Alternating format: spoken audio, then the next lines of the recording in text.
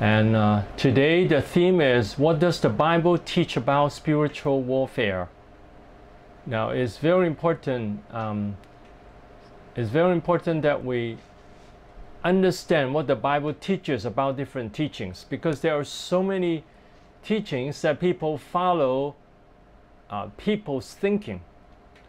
Uh, you know, about spiritual warfare, there are ideas that people follow instead of following the Bible. So today I will talk about spiritual warfare from the Bible, and then uh, so it's it's important that we examine all our teachings, all our beliefs, whether they come from the Bible or come from human being. You know, even if famous preachers, you know, sometimes some famous preachers they they preach about things uh, that might not be in the Bible. For instance, uh, pre-tribulation rapture. Many preachers talk about that, but actually it's not found in the Bible. It's it's sad to see that it's not in the Bible, but many many preachers preach about that without examining the Bible, without examining what the Bible say about the time of the rapture. Now, that's not my theme today. My theme is what does the Bible teach about spiritual warfare? We're going to go to the Bible verses. So this is about what the Bible teaches about uh, spiritual warfare. Now, first thing the Bible teaches is that Jesus has victory over Satan already. God already has victory over Satan. Satan has no power over God at all. Now, when Christians are weak, Satan can attack Christians who are weak, who are uh, sinning without repentance. Then Satan can attack them. But uh, God Himself has total victory over um, over Satan. Now, there are some people. there are some people who say that, you know, God is fighting a war he has already fought the war. And what God is doing now is trying to keep Christians loving Him. He works on Christians. When Christians love God and have a good relationship with God and follow God and obey Him and serve Him, God will take care of them. Satan has no way to attack them. So it's very, uh, so it's very important that we understand that Jesus has victory over Satan already. Okay, the first Bible verses, Matthew 12 28. But if I cast out demons by the Spirit of God, surely the kingdom of God has come upon you. Or how can one enter a strong man's house and plunder his goods, unless he first binds the strong man, and then he will plunder his house? So let's look at a verse here. Jesus said, If I cast out demons by the Spirit of God, then the kingdom of God has already come. And then, how can one enter a strong man's house and plunder his goods unless he first binds the strong man? So the strong man here is Satan. How can Jesus enter Satan's house and plunder his goods and cast out demons unless he has bound the strong man, that he has bound Satan. So what is uh, what it tells us is that Jesus has already had victory over Satan. Actually, Jesus has victory over Satan in all eternity. Now here, the timing, the time here is before his crucifixion. Because his crucifixion has effect in the Old Testament and New Testament. So even in the Old Testament, the people of God can drive out demons. And so, here before Jesus' crucifixion, the effect of his death on the cross that takes away all the accusation uh, on God's people has been taken away. Now, even before that time, even in Old Testament, that uh, uh, the book of Hebrews says that, uh, you know, the, that that it says that the the uh, the ram, the the lamb and the and the ox they offer cannot cleanse their sins. It's only Jesus who cleansed the sins. It's Christ who has cleansed the sins of the people in the first covenant, which is the Old Testament and the Old Te- and the New Testament. So it's God Himself. he already has victory, and it's only Jesus who can give us victory. It's Jesus' sacrifice for sin, make the people in the Old Testament uh, give them salvation. The the ox and the lamb are only are only a, a figure of the offering of Jesus Christ. The ox and the lamb cannot take away the sins. It's Jesus Christ who can take away the sins. So we understand this, and then we know that that even in the Old Testament, the fact that God can forgive people because Jesus dying on the cross brought salvation to them. Now, we can talk about that some other time about this teaching. But the point is that before Jesus died, he can he could already forgive people and he could already drive out demons. So he has already had victory over Satan. Actually, in all eternity, God has always had victory over Satan. It's by the death of Jesus that God has given us the victory over Satan. But this victory is not given after Jesus' death, it's actually before that. Jesus said to the disciples already that I've given you authority to trample on the snakes and scorpions, that He has already given them the authority, and the disciples could drive out demons. So Jesus has this authority all the time. God has all this authority all the time to overcome the power of Satan. That Satan has no say in his in God's kingdom at all. It's only when people sin then Satan can attack them. So Jesus has already defeated and bound Satan. He does not need to continue to fight Satan. He continues to build up our spiritual life. He doesn't have to fight Satan all the time because Satan is already under his feet. Satan is under his God's feet for eternity.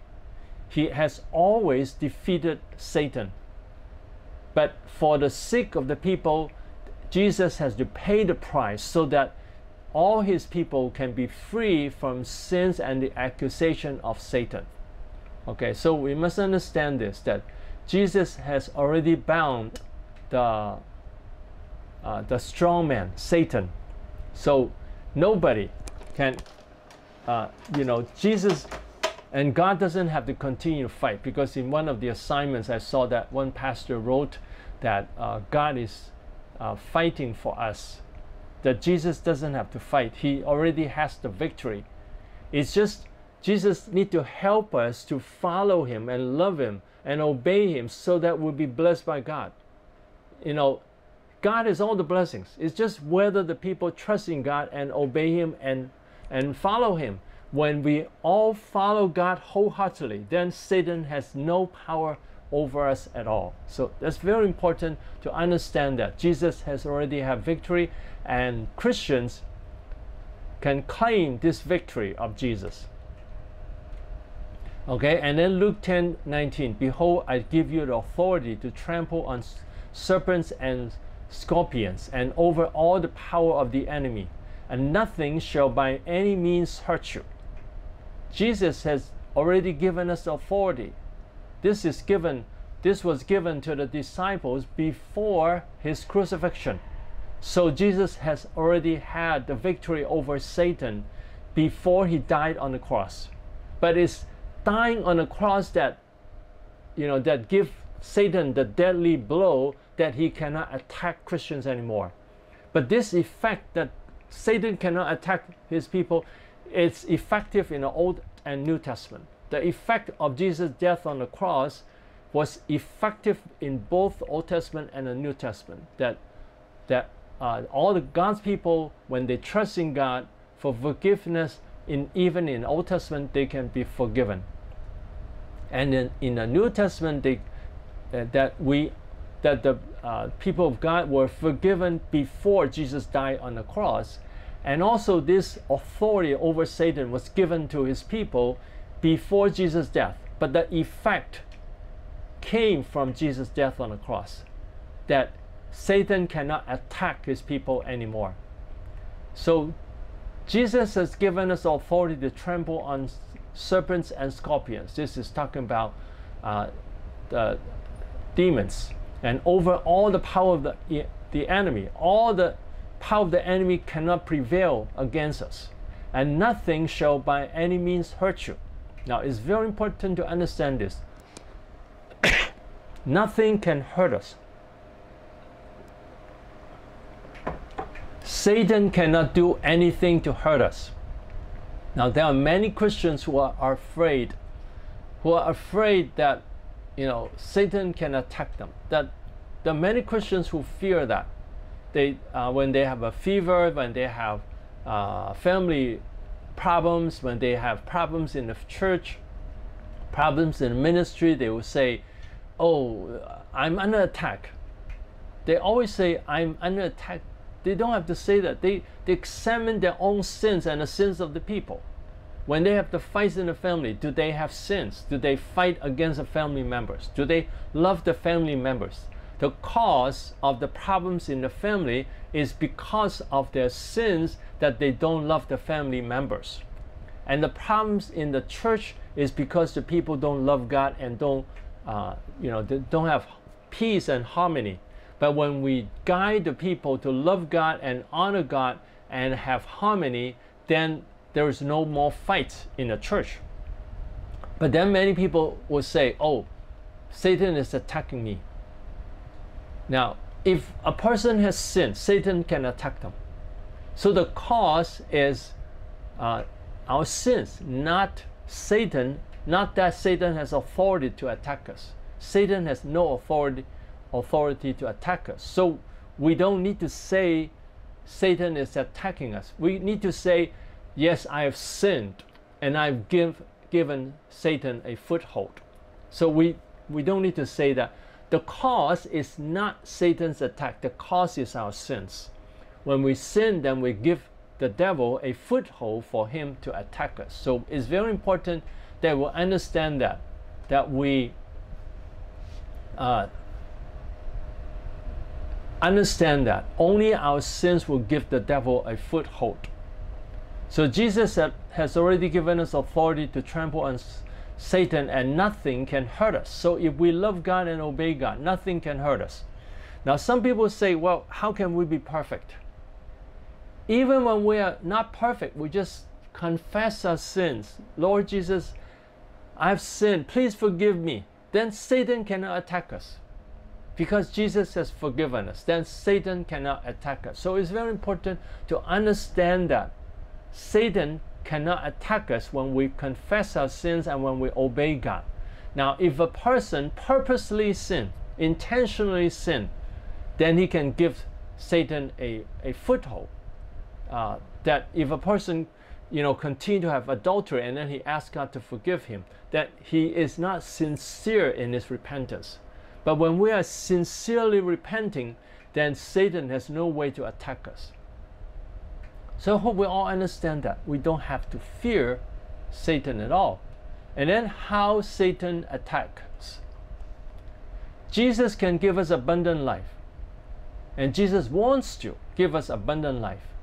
And Satan comes to steal, kill, and destroy. When we love and obey God, Satan can't steal from us. So Jesus wants to give us abundant life. Jesus doesn't say, well, if Satan doesn't attack you, then I'll give you abundant life. Jesus said, I came to give you, I've come to give you eternal life, abundant life. I want to give you abundant life. Satan cannot steal that from you. So Jesus did not say that unless if Satan stopped attacking you. So Jesus is not afraid of the attack of Satan, and we don't have to be afraid of the attack of Satan. And we should be careful about sins. We understand that it's sins that give the devil a foothold. But there are many people they just say, "Oh, today I have a fever. It's I'm attacked again." So they blame every problem they have on the attack of Satan. Now, physical sickness, we cannot say that it comes from uh, our sins, you know, unless if it's us who don't take care of our own health. It's important that we take care of our health. Our health is very important.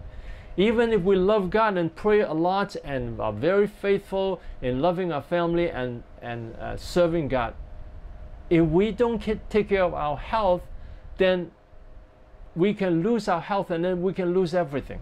So it's very important that we take care of our relationship with God and our family relationship, our relationship with people, and then our health, our physical health and spiritual health, that we take care of this so that uh, we don't get sick easily. And then if we love God and follow God, then Satan cannot steal from us. It's very important that we believe that. Satan has no power over us. Nothing can hurt us.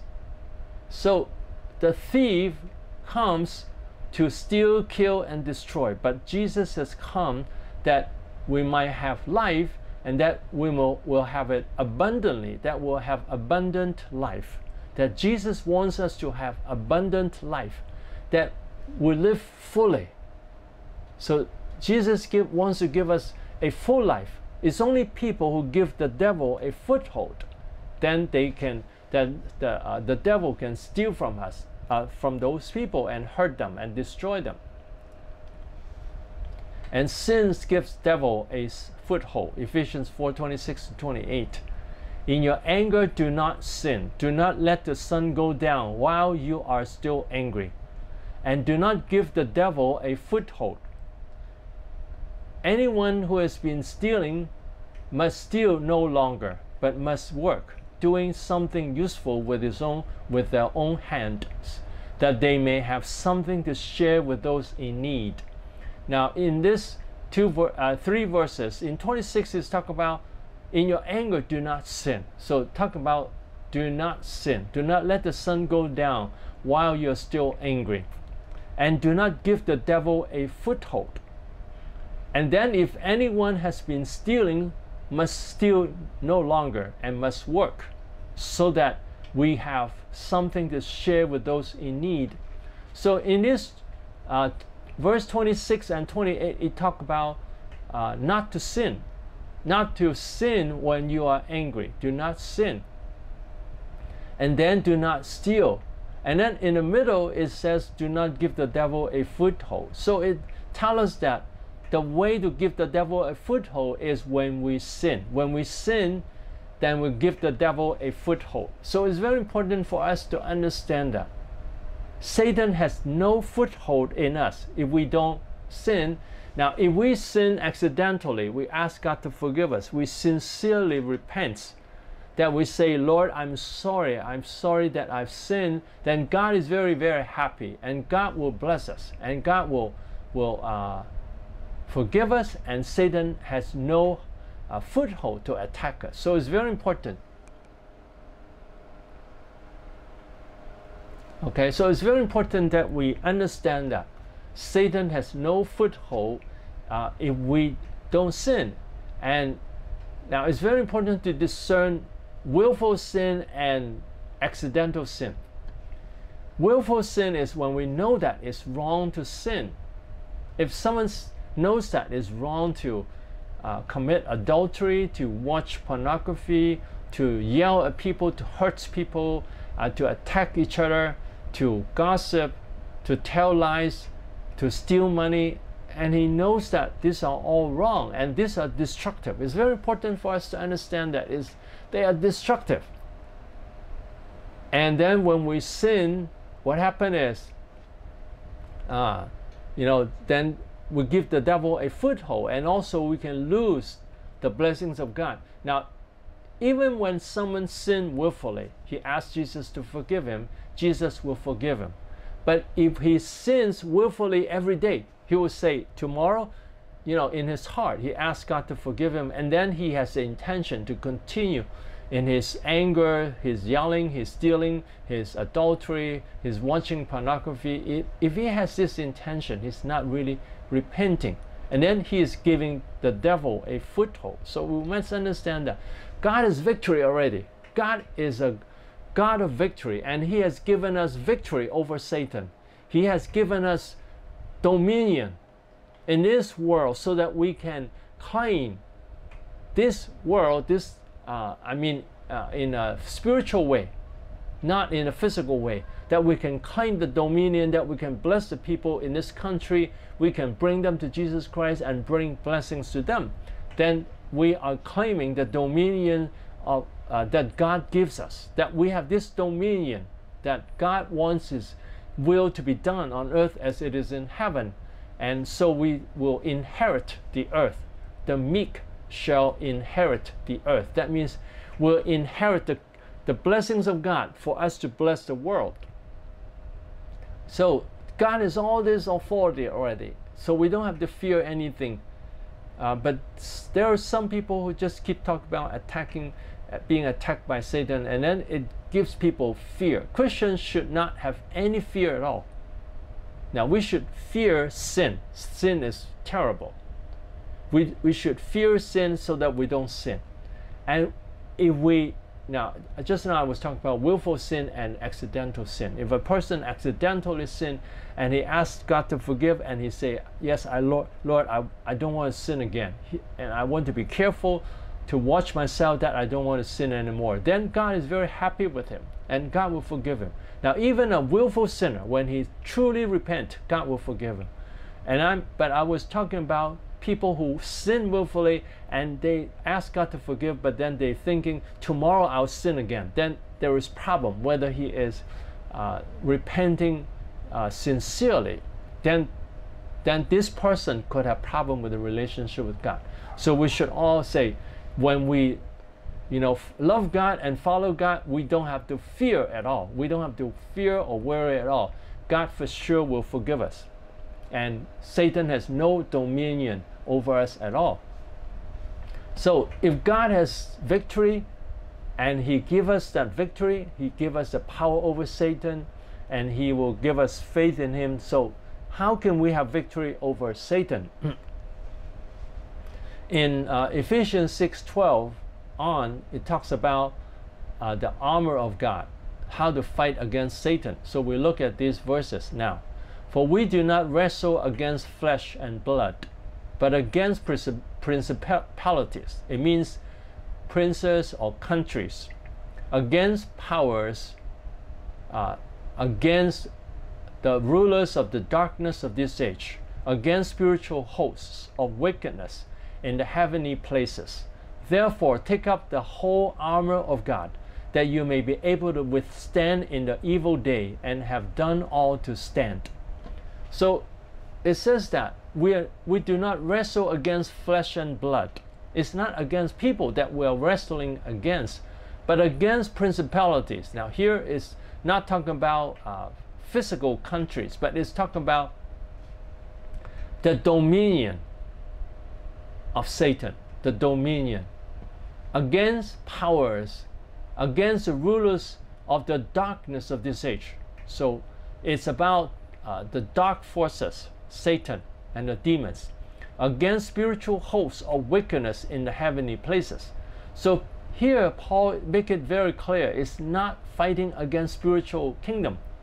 It's fighting against uh, spiritual dominion. We're not fighting against physical kingdoms, but we are fighting against spiritual kingdoms, spiritual dominion, and the power of darkness, the rulers of darkness, against spiritual hosts of wickedness in the heavenly places. So when we are fighting against spiritual uh, beings, the demons, then we need to the whole armor of God. Therefore, take up the whole armor of God that we may be able to withstand. excuse me.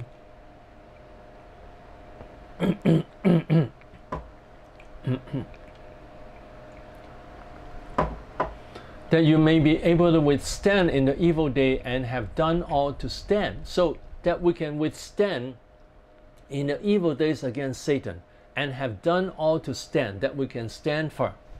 So, what do we need to do? Stand therefore, having girded your waist with truth, having put on the breastplates of righteousness, and having shod your feet with the preparation of the gospel of peace. Above all, taking the shield of faith with which you will be able to quench all the fiery darts of the wicked one.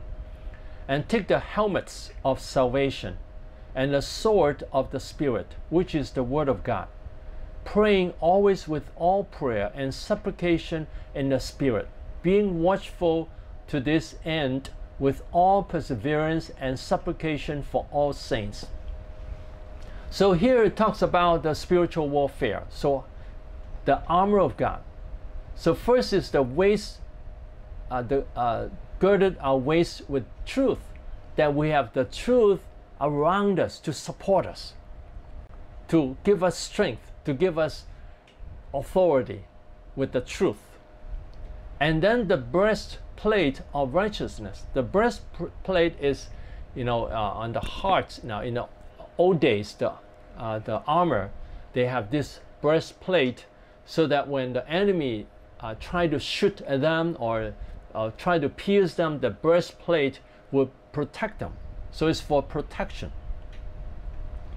And then having shod your feet with the preparation, the gospel of peace. So also we put on shoes. The shoes are the gospel, the preparation of the gospel of peace that we will go and preach in different places to preach the gospel. So this is now this is fighting against Satan that we have the gospel to bring people to Christ so that we can take people out from the kingdom of darkness into the kingdom of God. So we, we have the gospel. And then 16, above all, take the shield of faith with which you'll be able to quench all the fiery darts of the wicked ones. Wicked one. So here is the attack of Satan. Now both the breast, breastplate, the breastplate is for protecting against Satan's attack and against people accusation so that people cannot accuse us because we have the righteousness of Christ that Christ has declared us righteous and also we have the righteousness of the saints of the Christians that we live a righteous life so there are two kinds of righteousness first is the righteousness of Christ given to us through the death of Jesus Christ. When we trust in Jesus Christ as our Savior, then we have the righteousness of God. And then we have the righteousness of our own, that we are faithful to obey God, and that is our righteousness. So then Satan cannot accuse us, and people cannot accuse us. So the breastplate is for protection against accusation. And then the shield of faith is for protecting any from any kind of fiery darts of the wicked one. Now, the fiery darts could be, uh, you know, people accusing us, attacking us, uh, saying bad things about us, um, blasphemy against us, uh, or blasphemy against God, against the church, or uh, doing different things to attack the Christians. So the fiery darts will come from Satan and from sinful people. And then we have the shield of faith. What does faith mean? Faith means I trust in God. God is protecting me. God will take care of me. So it's very important that we realize that it's, it's not with you know physical power that we protect ourselves. It's with trusting in God that He is protecting us. God loves us, so we can trust in God and relax in God and don't worry. Now, to me, the definition of faith is trusting in God. That when God promises, I don't worry. I trust in Him. When God works, I don't worry. I trust in Him. So that is faith. So when we have the faith, uh, the shield of faith, that means we trust that God will protect me. God will bless me. God will help me. So I don't have to worry at all. So if anyone trying to attack me, I would just say God will protect me. I just trust in God. We don't have to worry about it. We don't have to fear. And we can trust in God's blessings. So it's very important that even in all in the midst of all difficulties, in sickness or any kind of difficulties, we'll say, God is protecting me. I can just relax in God. I don't have to worry. I don't have to fear. And then the helmet of salvation. Helmet. over the head is also protection so that they cannot take our life. We have salvation so that Satan cannot take our spiritual life and our physical life. That we are in the hands of God. So these three are for protection. The uh, first, uh, uh, girding our waist with truth that is also for strengthening, for strengthening and for protection.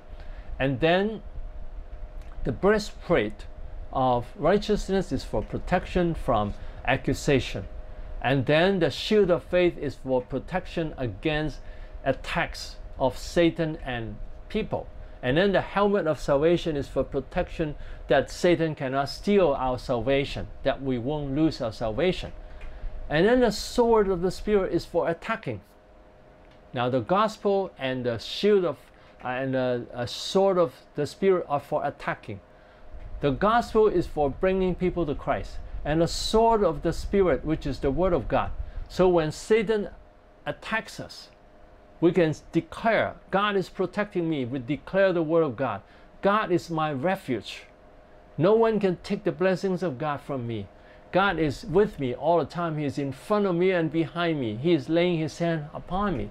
So we declare the Word of God to protect us and to attack Satan and to also bring people into the kingdom of God, to let people know God has loved you all this time. God wants to give you salvation. So when you trust in Jesus as your Savior, you'll have eternal life. So God wants you to have eternal life. God wants to bless you. And God, for God so loved the world that He gave His only begotten Son, that whoever believes in Him should not perish but have everlasting life. So God has given you this eternal life. Do you want to take it? So we have this Word of God, the sword of the Spirit. This has the power, and the Holy Spirit will work with the Word of God. That whenever the Word of God is preached, the Holy Spirit will work in the heart of people. So when we hear the Word of God, the Holy Spirit will move us to obey Him. And when we preach the gospel, the Word of God from our mouth uh, will work on people. The Holy Spirit will work with the Word of God to change people's life. So this is the, the tool of attacking the kingdom of Satan. And then also praying is also the, the weapon. Praying always with all prayers and supplication in the Spirit. Being watchful to this end with all perseverance and supplication for all the saints. So we pray for all the saints. And also prayer is building up a strong relationship with God building up the strong presence of God, that we love God and worship God. And God's presence will come strong upon us. And then we pray for all the saints that they will be strengthened, especially those who are being persecuted. So we pray for them so that they won't lose the faith, that God will strengthen them and give them direction and guidance so that they will follow God and have strength. So we pray for all the people and we pray for the fruit of preaching the gospel. We pray that God will use our preaching to bring people to, to the kingdom of God. So this this is the armor of God here, what we talk about here. So we first we have the the truth that give us strength and give us the assurance, give us a firm foundation. And then we have the breastplate of righteousness to protect us from any kind of accusation from Satan and from people, and the gospel for us to bring people in the kingdom of God, and a shield of faith that we believe that no one can take away the blessings of God. Therefore, we trust in God, we believe in God, we say, God, you will help me, you will bless me, so I trust in you that you will protect me, that I don't have to fear the devil. So, this is the way to stop the attack of Satan. But some people use other ways. They will shout and shout and they will say, oh, a spirit of uh, uh, anger, spirit of uh, adultery, go away, go away. They think that it's by shouting or for, by driving out the demons that the, the sins are taken care of. Now, the Bible has not talked about that. The Bible talks about repentance to God and say, God, I'm sorry for my sin. So the Bible doesn't talk about crying out against the spirit of darkness and spirit of adultery and anger to drive out the sins. Uh, the Bible doesn't have that. The Bible has repentance to God. And the Bible has prayer toward God, not toward Satan. Now, except when we drive out demons. In Jesus' name, we cast out the demons. Except when we drive out demons in Jesus' name, then all the other prayers should be directed toward God. We find in the whole Bible, even when Peter and Paul was pers- were persecuted, they did not declare to Satan, You have no power over, me. Satan, go away. They didn't pray like that at all, Peter and Paul. So the Bible does not support that kind of prayer to declare to Satan, You cannot, you know, keep me in prison, you cannot do this, do that we, we don't pray to Satan. We pray to God. We pray to God that God will protect us and God has all the authority. We don't have to declare to Satan to drive them away. We have God who will drive them away because God has victory already. So I just haven't found that kind of prayer in the Bible. But I know it's very, very common. Instead of using faith, they use shouting to drive out the demons. So we, and and also you know to overcome sins, we repent, and then we uh, have a pray to God to have a strong presence of God and have the joy of the Lord and have the motivation from God that will say no to any kind of sinful thoughts. That's how we overcome sins. It's not by casting out the demons of uh, adultery. You know. Some people think that when you drive out the demons of adultery, then the person uh, would, you know, would not have adultery anymore. That he would have power to overcome the sins. So they think that they need to, you know, shout to Satan in order to have victory. But the Bible doesn't teach that kind of prayer. When we submit to God and resist the devil, he will flee. Victory over Satan is not hard. James 4 7. Therefore, submit to God. Most important is most important to submit to God. Resist the devil. So whenever the devil tempt us, we'll resist the devil. We'll say no to the devil. Say no to the temptation. And he will flee from you. He will flee from us when we submit to God and have a strong presence of God and praise God and love God. And whenever Satan says anything, we'll say, This is not true, go away. And then we trust in Jesus. Now, when people have demons, then we drive out demons. But when it's sins, then we repent to God and ask God for strength to overcome the sins. Now, Satan comes to attack, resist him with faith. 1 Peter 5 8 to 9. Be sober and vi be vigilant. Therefore, because your adversary, the devil, walk about, walks about like a roaring lion seeking whom he may devour. Resist him, steadfast in the faith, knowing that the same sufferings are experienced by your brotherhood in the world. so here be sober, do not be drunk, but have a clear mind, vigilant, be watchful. Therefore, uh, because your adversary, your enemy, the devil, walks about like a roaring lion, he is walking around trying to attack, seeking whom he may devour. And how can we resist him? Resist him steadfast in the faith. It's always trusting in God. It's God who has victory over Satan. So we, we uh, trust in God. We stead, we're steadfast in faith, and we know that God has victory over Satan. God has victory over sins. God has victory over suffering. Knowing that the same sufferings are experienced by your brotherhood in the world, that all the people are experiencing suffering of different kinds, and then we you know we just resist the devil. And then we are steadfast in the faith that we don't have to be afraid of satan or or his attack or any kind of suffering. We know that god has total victory over all the power uh, of satan. So be sober and be vigilant be clear-minded watchful and then resist the devil and be steadfast in the faith that knowing that all the Christians are going through difficulties also. So we don't have to be afraid and we just trust in God and have faith. So here again it talks about is faith, our relationship with God that helps us to overcome the power of Satan. And then when we follow the Great Commission, Jesus will stay with us. He has authority over Satan.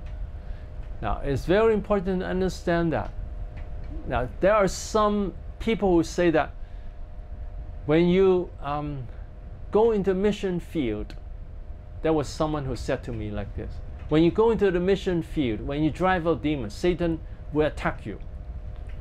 Now, this is really ridiculous and against the Word of God. Now, let's read what the Bible says.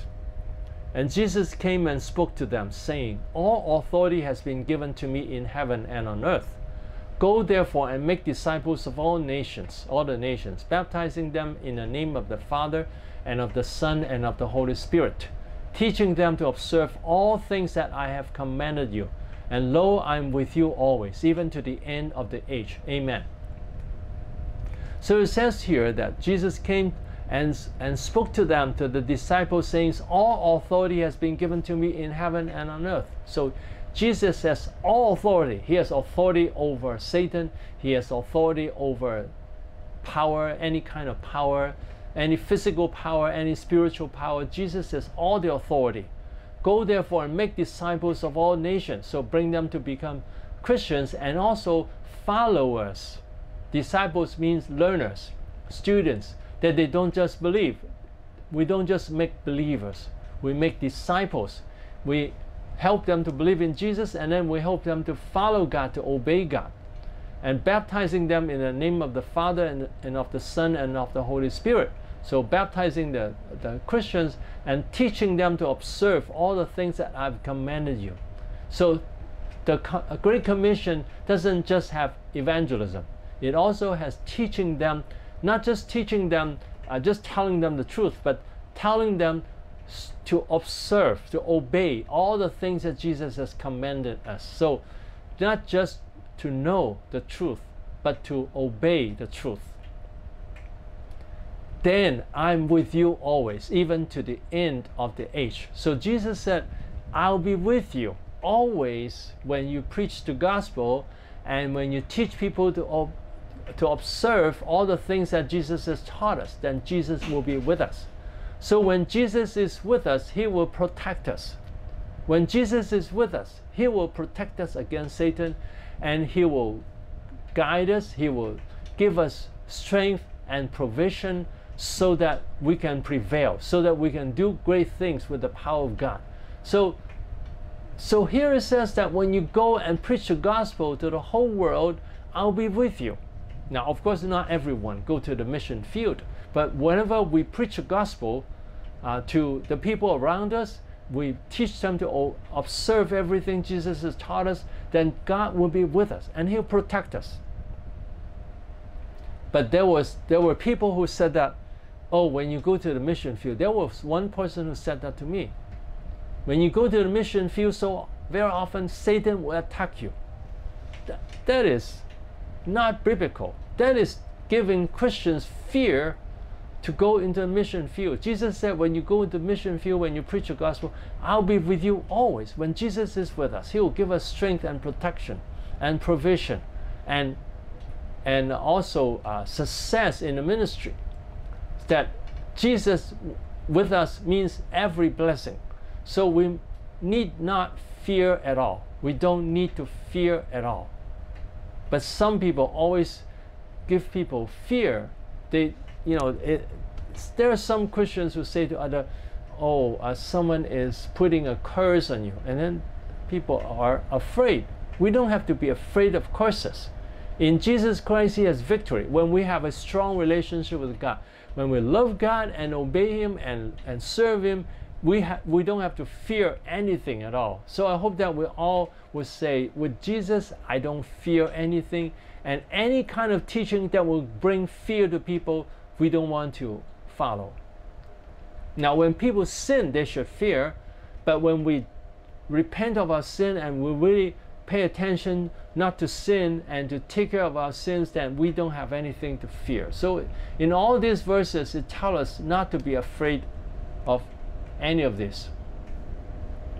And then 2 Corinthians 10, verse 4 talks about what is our warfare. For the weapons of our warfare are not carnal, but mighty in God, for pulling down strongholds casting down arguments and every high thing that exalts itself against the knowledge of God, bringing every thought into captivity to the obedience of Christ. So, what is our weapon? The weapons of our warfare are not carnal, but mighty in God. It's the strength in God. Our weapon is the strength in God to pull down strongholds. Strongholds, now what kind of strongholds? Arguments and every high things that exalt itself against the knowledge of God. So when people argues against God or any high things that any pride or people, when they are proud against the knowledge of God, so we will casting will cast down all these arguments and all these proud things and bring every thought into captivity to the uh, obedience of Christ. So we bring people to submit to Christ. That is the warfare.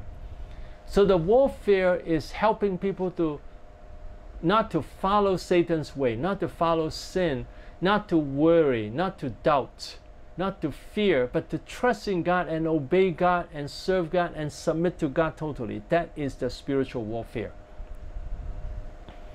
The spiritual warfare is to bring people to totally loving, you know, believing in God, loving God, obeying God, and submitting to God and serving God. But some people, they uh, define spiritual warfare as that they will have meetings and shout against Satan. They will shout, "Satan, go away! Satan, go away!" And then uh, the, uh, the like the Satan of idols, uh, of idolatry, Satan, uh, the demons of idol idolatry, the demons of uh, of adultery, uh, the demons of idols, go away. All this go away. So they think that this is the spiritual warfare, but there is no such example in the Bible. There is no such example. You search and see if there is any description of that. Both in the Old Testament and New Testament, there is no such example. Now, if God wants to teach us something, He will give us in the Bible. He will give us the teachings in the Bible. Let me let me tell you what one preacher I heard one time when he preached about Ephesians 6:12 to um, 18. He said that this is the armor of God. So you put on the armor of God, and then you start to do something else to fight the devil. So they think that the armor of God is not the fighting against the devil. They think that it's something else. So that's what they mean. They will put on the armor of God and then they will declare to Satan, Satan, go away, go away. And they think that is a spiritual warfare. But that is not in the Bible. We don't have to be afraid of Satan at all. When we trust in God and obey God and serve God and declare the word of God and help people to love God and submit to God and serve God and love God, we don't have to be afraid of anything. God will protect us and bless us that we don't have to worry about uh, the attacks of Satan. That you know that what the preacher was saying is Ephesians 6 really doesn't talk about spiritual warfare. It just talk about the preparation of the warfare. You put on the armor of God. And then you start to go out and do the spiritual warfare. And the spiritual warfare is what he described, and it is not in the Bible, is to shout to Satan to go away. So it's not in the Bible. But some people think that that is uh, the spiritual warfare. They think that it's by, you know, shouting the devil, and uh, they use the fist sometimes even. Satan, go away, go away. They think that this is the way to fight against Satan. But the Bible says that no, it's when we have the truth, when we have the breastplate of righteousness, then we are protected from the accusation of Satan and people, and then the gospel that is our weapon, and a shield of faith so that Satan cannot attack us, and a helmet of salvation to protect us, and the sword of the Spirit is for attacking. The Word of God is for attacking, to preach to people, to bring them to submission of God. So, and then pray. Prayer is attacking, so that we can bring more people to Christ and be watchful to this end. And also in Second Corinthians, this is uh, the warfare. That this is the warfare to pull, pull down the strongholds and cast down the arguments against God and all the pride of the people and, uh, and bring every thought into captivity to the obedience of Christ so that they will submit to Christ. Okay, some faulty beliefs about spiritual warfare. Some people regards any sickness, emotional problems, interpersonal problems, family problems, and any difficulties as attacks from Satan. So they are often afraid of attacks. Now they think that all these are attacks from Satan. Now I would say if a person sins, then some of this can be attack from Satan. But if a person loves God, he loves God, then it's not the attack from Satan. It's just the difficulties we face every day because the world is facing hunger. The world is facing wars, physical wars. The, fa- the, world, the world is facing famine and, and different kinds of disasters. And these are not from, you know, this, these are not necessarily the spiritual attack from Satan. These are prophesied by God. It's because of the curse on the earth when Adam and Eve sinned, then the whole world was cursed, and therefore it's going down more and more. It came from the curse of God. And the world will go worse and worse, but we trust in God, we'll have more strength, that God will give us victory in the midst of all the uh, difficulties. So whenever we get any problem, we get sick, don't say, "Oh, Satan is attacking me, attack, attacking me again." Now, what when people talk like this, what happens is then they, then the people will be afraid. Oh, I don't know when Satan is attacking me, and then they'll say, "Oh, this morning I, I remember when I woke up, I felt so tired. It must be an attack of Satan." So they, whenever they have any problem, they think, "Oh, it's attack of Satan." Then they become fear for no, be fearful for no reason we don't have to be afraid of Satan. We know that God is protecting us. He has given us authority and nothing can harm us. So we need to believe all this. And then some people think that Satan attacks those who are faithful to preach the gospel or drive out demons more often than others. So some people think that those who preach the gospel a lot and to uh, uh, drive out demons or go to the mission field, and these people will be attacked by Satan more. So they say the faithful Christians will be attacked more. Now it's true that Satan will try to find way to attack the faithful Christians. They try to find ways. There are some Christians who preach faithfully, but they're not faithful in keeping the marriage in a loving way. Or they don't treat people nicely. They use harsh authority to rule the church. They might be faithful in preaching, but they are preaching the law because they are harsh on people and they are not loving the people. Then they will give the devil a foothold. The devil is looking for ways to attack preachers and all Christians. But for Christians who love God and obey God, Satan cannot attack. We must be very clear about this. Don't think that because we are preachers, therefore Satan will put extra force to attack us. Now, when we sin, then Satan will attack us. If if a preacher steal money, then he can be attacked and then he can lose his uh, ministry, lose the church, and lose the trust of the people. So when people sin, then we give the devil a foothold and then he can attack us. But when we love God and obey God, and then when we sin accidentally, we ask God to forgive us, and then we don't have to be afraid. And we should be careful because God's, uh, Jesus said to the man who was healed of 38 years of sickness, He said, Sin no more, lest the worst thing will come to you. So we don't sin because if we sin, the worst thing can come to us. That can come from the uh, attack of Satan. So Satan cannot attack faithful Christians and faithful pastors. He only attacks pastors who have uh, who have openings in their life for Satan to attack, who have uh, footholds in their life for Satan to attack. When they have anger or love for money, a love for woman, and a, uh, a lack of love for their wife, then they will give the devil a foothold. So we don't have to be afraid. Some people say, well, you are faithful pastors, all the faithful pastors in this place, you'll be attacked by Satan. Then it will make the faithful pastors afraid. We don't have to make them afraid. We tell them Jesus has victory over Satan. We have victory. And Jesus will protect us. Jesus will make sure those who love Him and obey Him will go higher and higher. That's what the Bible promises. The Bible promises that when we love God, our life will go higher and higher, and our, our life will go to a higher level. God will protect us and bless us. Another faulty belief. Some people think that driving out demons of adultery will reduce adultery problems, or driving out other demons will solve sin problems. So they think that they drive out the uh, uh, the spirit of adultery, and then the adultery will go away. It's it's not by the Bible doesn't teach that.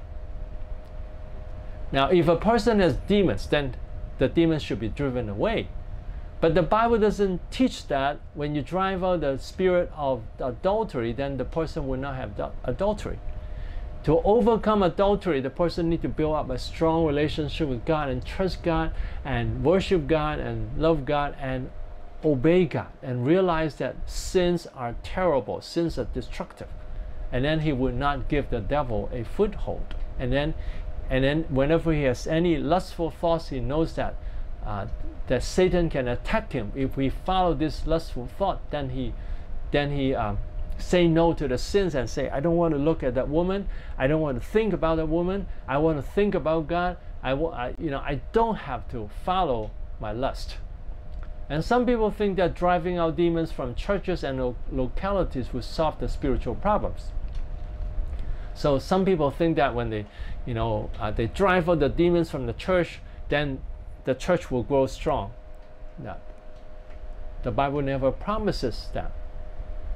But when we love God and help people to love God and worship God and honor God and obey God and serve God and glorify God, then the Bible promises that that will bring strength. You, you look at the early church, they worship God together, they share with each other, they love each other, they preach the gospel, and then the church grew. The Bible never said that they cast out the demons of, uh, of uh, Judaism or other religion and then they, they or, or the demons of uh, adultery and therefore they became strong. Not, the Bible never said that. Number five, some people think that Ephesians 6 14 to 18 is just putting on God's armor, and they think that this passage has not told us how to do spiritual warfare. And they think that spiritual, uh, so they think that that's just putting on warfare, and then you start to fight, fight the devil by shouting at the devil. That's not from the Bible. The Bible doesn't talk about that. And spiritual warfare is wearing God's armor and then driving out uh, demons' power. So they think that you wear the God's armor and then you drive out the demons. So they think that that is fighting the spiritual warfare. But the Bible doesn't say that. So we look at the Bible, we cannot find any Bible verse that supports that. But that is followed by many churches. You go to many churches, they will shout to the devil, go away, go away. They, they shout that and they think that that will bring revival.